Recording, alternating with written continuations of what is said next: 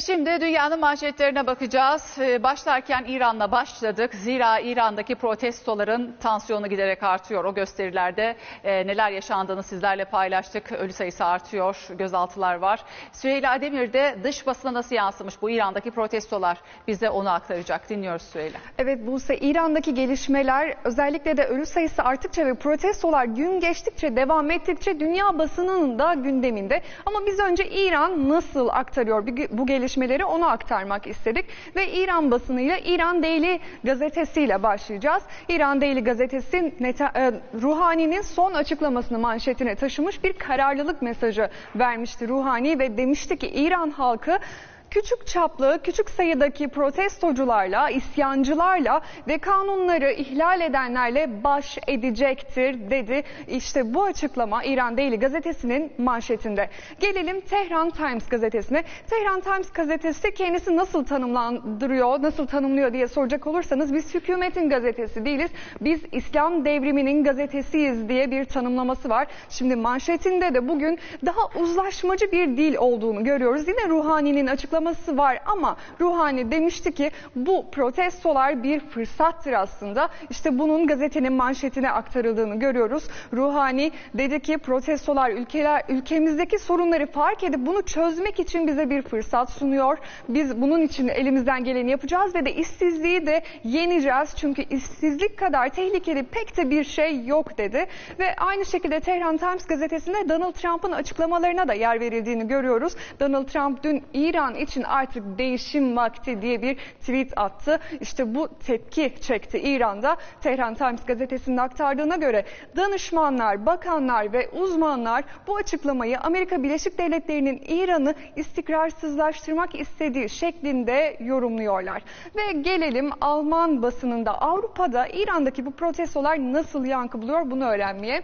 Frankfurter Allgemeine Zeitung gazetesi bugün çarpıcı bir manşet atmış. Demiş ki Kein Revolüsyon yani devrim yok. Gazetenin aktardığına göre İran'dakilerin, İran'daki protestoların bir devrim olduğunu söylemek için henüz erken bu yönde bir veri yok. Ve 2009 yılında yaşanan son geniş çaplı kitlesel protestolardan da büyük farkı var. Bugün devam eden protesto eylemlerinin o da örgütlenmiş bir yapıya sahip olmaması, protestoların liderinin olmaması ve ne yönde evrileceğinin bilinmemesi. Belki bu bir avantaj da yaratabiliyor bu protesto hareketi için diye bir yorum da var gazetede. O da eğer e, tutuklananlar olursa muhalif kesimden bunun yine de bu protesto hareketini kıramayacağı, zayıflatamayacağı e, yönünde bir de görüş var. Farklı bir görüş Alman gazetesi tarafından dile getirilmiş ve şimdi Fransız basınına bakalım. Liberasyon'da çok çarpıcı bir fotoğraf var. Bir kadın protestocu yumruğunu havaya kaldırmış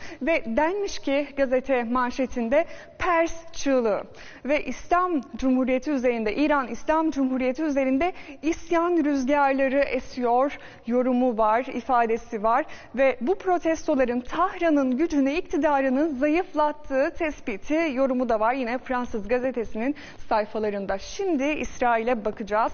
Çünkü İsrail ve İran aslında birbirinin rakibi, düşmanı olarak lanse edilen iki ülke. Hal böyle olunca İran'daki gelişmeler de İsrail basınının yakın takibinde. Jerusalem Post gazetesi bugün Netanyahu'nun açıklamasını manşetten vermiş. Netanyahu da sessizliğini bozdu dün bu protestolara ilişkin ve dedi ki... E, Ruhani'nin dile getirdiği protestoların arkasında İsrail'in olduğu iddiası gülünç bu açıklamayı yaptı. İşte Jerusalem Post da bunun manşetinden aktarmış ve Hares gazetesine gelelim. Hares gazetesi İsrail'in muhalif sesidir.